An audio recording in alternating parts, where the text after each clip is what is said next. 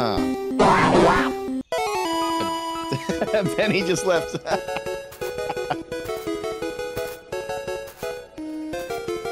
Come back, Benny.